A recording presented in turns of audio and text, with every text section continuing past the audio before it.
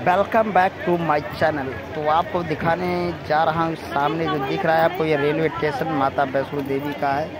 तो यहाँ पे देख लीजिए कितने लोग हैं, भीड़ ज़्यादा, कितनी ज़्यादा भीड़ लगी हुई है। तो आपको अभी बाढ़ गंगा दिखाने वाला हूँ उसके बाद। इस वीडियो के आगे में देखेंगे आप, बाढ़ गंगा जो है जहाँ पर माता वैष्णो देवी ने अपने केस धोए थे, स्नान किया था, और बजरंग बली ने अपनी प्यास बुझाई थी, इसी के ऊपर है। तो वीडियो में बने रहें। हमारे साथ लोग जो आए हैं, देख लीजिए अभी मैं मंजन करने वाला सुबह हो चुकी है, मंजन करने वाला हूँ। देख लीजिए, पीछे पहाड़ भी दिख रहे हैं शायद आपको। तो ये रेलवे स्टेशन है, उसके ऊपर से भी हेलीकॉप्टर हर एक मिनट पे आपको जाता हुआ नज़र आएगा। तो अभी कैमरे में कैद भी करूँगा।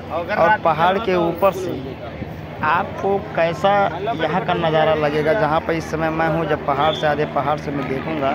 कैमरे में जैसे छोटे छोटे सफ़ेद सफ़ेद ऐसे घर दिखाई देंगे, बस बाकी कुछ भी नहीं दिखाई देगा। देख लीजिए हेलीकॉप्टर जा भी रहा है सर के ऊपर से। देख लीजिए, सर के ऊपर से जा रहा है। और ऊपर से आपको दिखाऊँगा अर्ध कुमारी कहाँ पे स्थित है, कितनी दूरी है। तो यहाँ से अभी मैं चार किलोमीटर जाऊँगा, पहले बाढ़ गंगा बाढ़ गंगा से आपको लगभग सात किलोमीटर जाऊँगा, लगभग पड़ेगी अर्ध कुमारी उसके बाद वहाँ से दस किलोमीटर जाऊँगा माता वैष्णो देवी।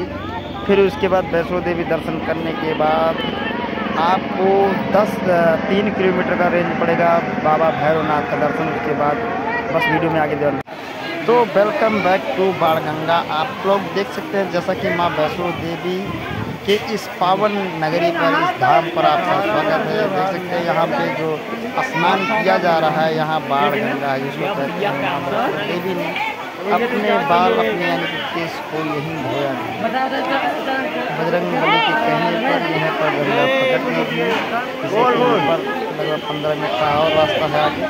वहीं पर प्रकट करके बजरंग बली ने अपने अवतार बुझाया था और माता वैष्णो देवी ने अपने बाल को अपने केस को यहीं धोया ये हमारे साथ में सब लोग आए हुए हैं। ये हमारे गाँव के हैं। देख सकते हैं आप। यहाँ कैसा अभी दृश्य दिखने वाला है। है सब? अभी चेहरा भी दिखाने वाला हूँ फेस। तो बस वीडियो में बने रहें। बस फेस दिखाने की पारी आने वाली है तो बस देखिए बाढ़ गंगा का आनंद लें। स्नान सब लोग कर चुके हैं। लगभग हम लोग निकलने वाले हैं। माता देवी के दर्शन करने वाले हैं। माता देवी के तो हमारा फेस आपके सामने इस प्रकार आने वाला है। देख लीजिए तो हम अपना फेस दिखा रहा हूँ। सुबह में स्नान करके मैं बाढ़ गंगा पे गया था जहाँ में बाढ़ गंगा लिखा गया है बोर्ड पे कि बाढ़ गंगा तो वहाँ पर मैं स्नान करके आया बाकी ये सब लोग यहीं पर स्नान कर रहे पाइप से टोटी से। तो देख लीजिए किस तरह से यहाँ पर भीड़ लगती है। तो वीडियो को लाइक, चैनल को सब्सक्राइब, कमेंट करना नया बन भूलें। वीडियो कैसा अच्छा लगा तो बताइएगा। इससे और भी अच्छी मैं वीडियो बनाने का प्रयास करूँगा। तो देख लीजिए बाढ़ गंगा आपको माता वैष्णो देवी बनाए रखेंगे तो अब वीडियो में देख सकते हैं हम आधे जो रास्ते पर चढ़ चुके हैं, आधे रास्ते पर आ चुके हैं। पीछे आपको अभी अर्ध कुमारी दिखाने वाला हूँ। तो देख लीजिए यहाँ पे नज़ारा कैसा दिखता है, जो सीढ़ी से लोग आते हैं, देख लीजिए। ये मेरा भाई क्या बोल रहा है, देख लीजिए। तो बस पीछे देख लीजिए मैं आगे चढ़ने का प्रयास करूँगा। फ़िलहाल देख लीजिए, इतने लोग, सीढ़ी से ज़्यादा लोग नहीं आते, क्योंकि थक जाते हैं बहुत ज़्यादा ऊंचाई हो जाती है। हर एक फीट पे आपको ऊंचाई मिलेगी। देख लीजिए हमारा दोस्त कैसे देख लीजिए।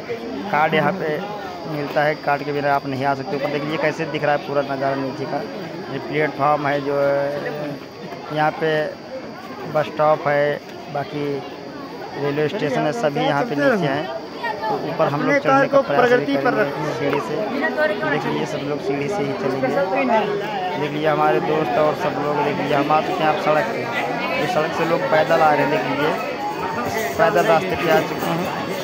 फ्रेंड वीडियो से देखते रहे वीडियो को लाइक करते रहें चैनल को सब्सक्राइब ज़रूर करते रहें। आगे आपको दिखाता हूँ। सामने मंदिर जो दिख रहा है वो आध कुमारी देख लीजिए वहाँ सफ़ेद सफ़ेद।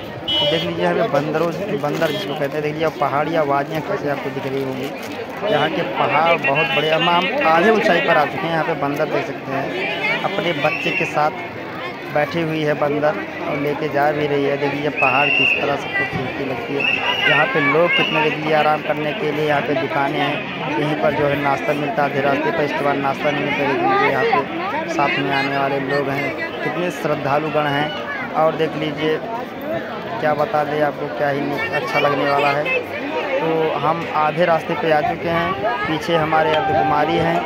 अर्धकुमारी जो माता वैष्णो देवी की साथ थी देखिए ये बंदर डाल पे बैठा हुआ है इसके नीचे कितनी बड़ी खाई है। देख लीजिए पीछे नज़ारा कैसे दिख रहा है यहाँ पे सब रेलवे स्टेशन बस स्टॉप आदि है। ये जो पीछे आपको सभी सफ़ेद सफ़ेद दिख रहे हैं वाइट वाइट सब बस स्टॉप और देख लीजिए बंदर किस तरह से पेड़ पर बैठा हुआ है आसानी से। आप भी राज नीचे उतर रहा है। तो अभी हमारे पास से गुजरेगा अभी दिखाता हूँ आपको। ये देखो जा रहा है है मेरा भाई है ऐसे मज़ा ले रहा है।